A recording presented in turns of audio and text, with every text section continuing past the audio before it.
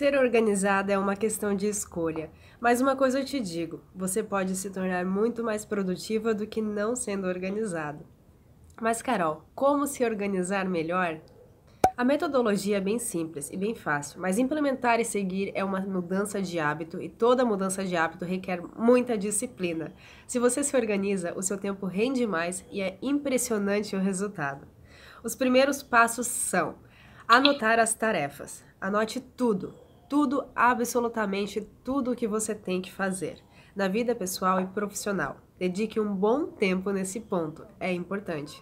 Processar. Depois de anotar as tarefas, você vai processar. Quer dizer que você vai analisar que tarefas são importantes, quais são de média importância e quais são as tarefas sem tanta importância. Pense em cada tarefa de acordo com os objetivos que você quer atingir. Organizar. Com os resultados da fase processar, você vai colocar as tarefas em um sistema de confiança para que a sua cabeça não tenha que lembrar de tudo.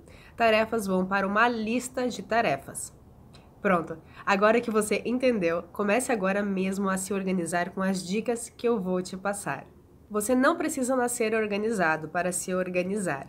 Organizar é estabelecer prioridades. Sem fazer isso, você não tem parâmetro algum para trocar e para tocar os seus afazeres. Pare já com a doença da desculpite. Chega de desculpas. Se você está sempre postergando tarefas, tente marcar 15 minutos no alarme do celular e fazer o que for possível nesse tempo. Aprenda o conceito de destralhe. Tire de sua casa e de sua vida tudo que não serve para nada, tudo que não te faz feliz e tudo que for lixo. Se as coisas estão realmente difíceis para o seu lado, estabeleça pequenas metas diárias. Escolha somente três tarefas que você precisa resolver hoje e foque nelas.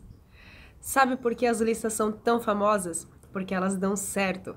Procure fazer listinhas de tarefas em todas as áreas da sua vida. Elas servem como guia para você sempre saber o que fazer e não perder tempo.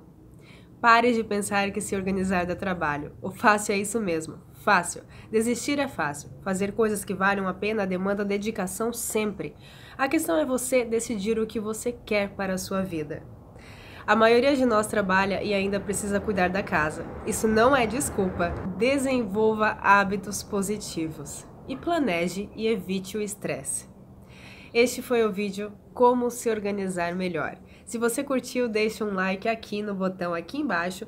Deixe também o seu comentário, porque sua opinião é muito importante para mim. Até o próximo vídeo. Até lá. Tchau.